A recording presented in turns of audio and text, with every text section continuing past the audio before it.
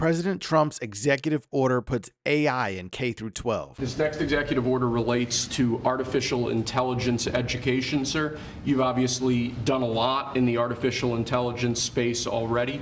Uh, the basic idea of this executive order is to ensure that we properly train the workforce of the future uh, by ensuring that school children, uh, young Americans are adequately trained in AI tools so that they can be competitive uh, in the economy years from now into the future as AI becomes a bigger and bigger deal. That's a big deal because AI is where it seems to be at.